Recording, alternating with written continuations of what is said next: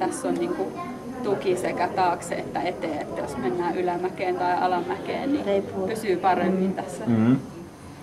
satulassa. Miten tota, tämmöinen, kun, kun on karjaa ja sitten on arktiset olosuhteet, niin niin mitenkä ne saavat tämän karjan ravinnon sitten pahimpaan vuoden aikaan? Vai ehtiikö ne aina, mennikö ne sillä tavalla, siirtyvätkö he, että tota, missä on sitä luontaisesti saatavissa luonnosta sitä ravintoa karjalle?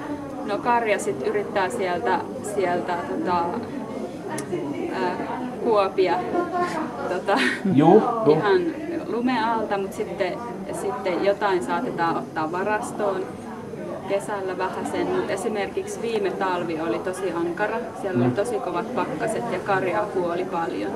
Ja tänne on kanssa tehty huovutettu tämmöinen lämmike niin. sisälle, mikä voidaan Lämpökengä. No joo, ihan, ihan ja sitten tähän muotoon liittyy se, että he pitää maata pyhänä. Mm. Ja sitten ajattelevat, että maata ei saa potkia, niin sen takia tämä on käyrä, että kun astuu, niin koskaan ei se kengän